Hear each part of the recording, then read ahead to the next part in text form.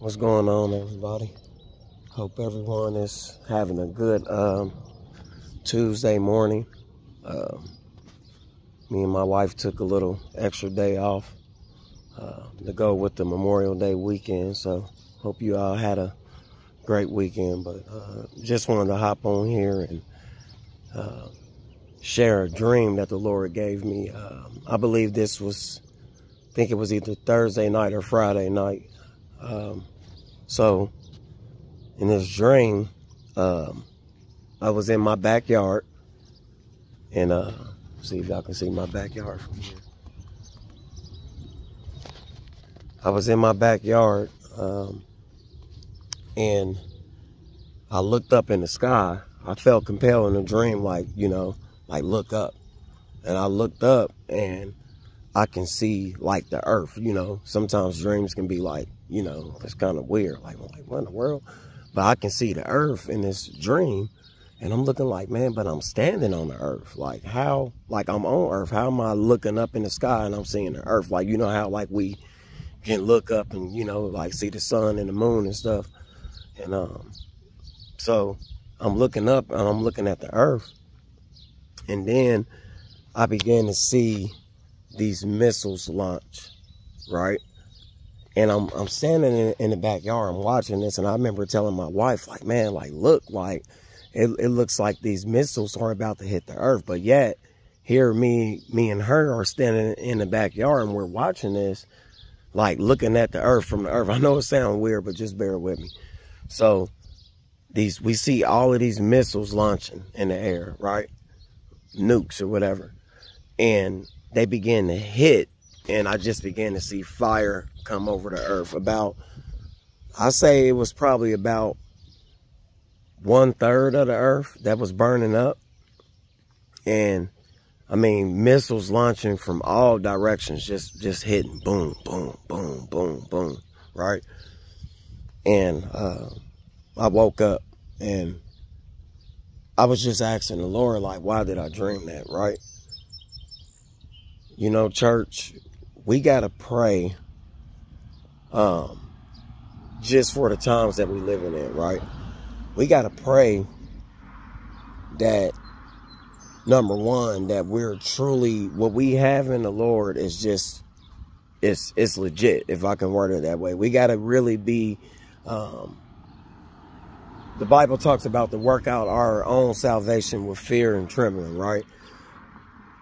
We better be sure that we didn't encounter a person as my pastor as my pastor will often say that you know we don't hopefully we didn't encounter a preacher. We didn't encounter a good church a good service uh, a good service. Hopefully we truly have encountered the king of kings and the lord of lords jesus christ the way the truth and the life right? And you know I feel like what the Lord was sharing to me, sharing with me when I woke up, is just a sense of urgency, right? Um, you know, in America, it's real easy to be comfortable. It's real easy to become complacent. Um, and, you know, we don't think things like a nuke or war can happen here. And please, like, join with me in prayer. Like, I don't want to see nukes nowhere, right? I don't want no nowhere to be hit by a nuke, right? Um, even the, the the worst places on earth, right? I don't I don't want to see that. But at the same time, I feel like in America we have that we would never boldly say this, but I feel like we have that mindset of oh that can't happen here oh, America can't be invaded. Oh, America can't be nuked. Oh, it ain't terror. It, it's not terrorists who then came in through the border and secretly could be planning an attack. Nah, not, not in America. That's not possible. And number one, judgment starts in the house of God, church. So we need to, we want to see revival in America and we should want to. We should want to see our nation revived, but the church needs to be revived, right? It's sad that it's a split. Not only is it civil war in America, I feel like it's civil war in the church because, you have those who's living for the Lord, on fire for the Lord. I'm going to break it down in three camps. You have those who's living for the Lord, on fire for the Lord. Then you have those who have allowed culture to invade and they kind of live in this Kool-Aid watered down version of, oh, you know, God is love and he understands, which he is love and he understands, but he's still holy, right? So you got that camp. And then you got this middle camp that at one point, you know, okay, I'm going to rock with the people over here that want to burn for God, that's trying to burn for God, that's trying to live a truly biblical lifestyle. But then let me go rock with, I don't want to offend the people on this side, so let me rock with them a little bit. Um, and, you know, church, we, we just, we, we got. We got to wake up. And if those times are upon us, what I drink, if they are, if they are knocking on the door, right? Revelations chapter six, I believe, with the um, first seals being torn. You know, the rider on the white white horse and the red horse and the black horse and the pale horse, right? The rider on the red red horse represents war. If we are upon, if those times are here, man, church, we we got we got to wake up. This is not a a video for fear. This is a call for us to go deeper. This is a call for us to take inventory, to look in that spiritual mirror and be like, man, what do I need to lay down to the Lord? What areas am I taking the Lord's name in vain? How many times have I said, Lord, forgive me for this or that, but I go back to it, right? We, we need to take inventory of ourselves. I need to take inventory, right? This is for me too. And we just, we just better really be in love with the Lord. You know, I know it seems like I'm rambling, but we better, what we have with him better be real. It better be legit. Uh, it was a pastor in the Ukraine excuse me, it was a pastor in the Ukraine right as when Russia uh, invaded. And he said, you know, the sirens started going off and, you know, missiles hitting everywhere, this and that.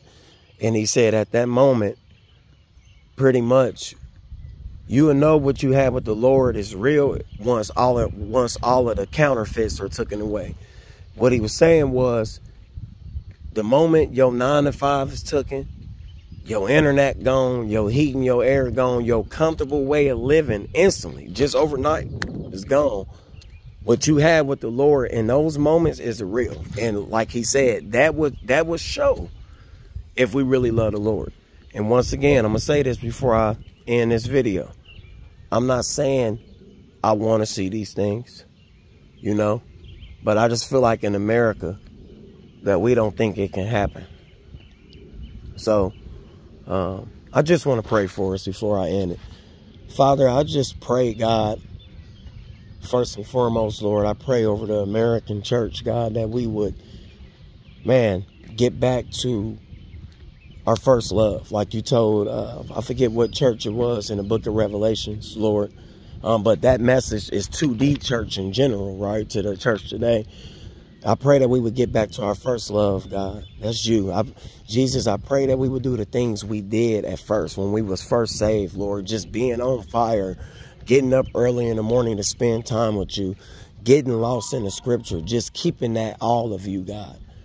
I pray that we would get back to that, Lord. And Father, I pray um, for those who clicked on this video, Lord, and um, they don't know you, God. I pray uh, that they would taste and see that you're good. God, I pray that hearts would be softened for those who clicked on clicked on this video who don't know you, that hearts would be softened, um, that it'd be true repentance, Lord. I pray that um, the words that you're leading me to, to speak and pray on this video, God, would touch someone's heart and that they would surrender their life to you, Jesus, and that they would get plugged into a church that preaches the truth, who um, that's a King David church that I'm going to be honest to my own harm. Even if culture rise up against me, Lord, I'm going to preach the truth. I'm going to live the truth. And Father, I pray that if we, if these times are upon us, as far as potential missiles or terror attacks or nukes. Lord, God, I pray, number one, Lord, I, I pray, man, just that these things can be deterred and that they won't happen, God. And um, but Lord, if if they are, if they if these times are coming, God, and if it's hitting in our lifetime, God, I pray that the American church that we would in those moments in the midst of something terrible happen that we don't have a, a bunker down. Let me lock myself in my house with my with my survival food kit and just stay let, let me just ride this thing out. No god i pray that if these times are upon us lord that instead that we will go out equipped as your church and that we would go out lord and evangelize, that we would go out and share the gospel because, Lord, we know that when disasters and things hit, Lord, that people's hearts are more more sensitive, more more soft to receive. Lord, just like the ground and the soil, once it rains, right, or um, I'm butchering this, Lord, I ain't no farmer, but it's certain things that's got to happen for the ground to be soft so that it can receive the seed. God, and I just pray that if these moments are upon us and they hit, that the church don't, if I can word it this way, Lord, cower away, but that we would go out and be on the front lines. We should be living that anyway, Lord, daily. It shouldn't take some type of disaster or something to happen.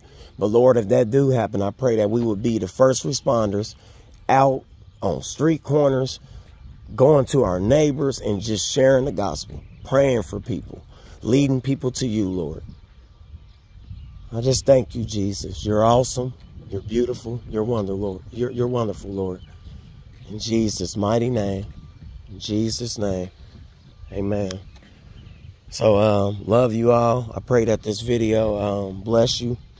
I pray that it encourage you. Like I said, um, not trying to spread fear, just releasing what I felt like the Lord showed me in that dream. Um, and I'm not date setting. I'm not saying, please don't take this video. Oh, America is going to get nuked. I'm not saying that.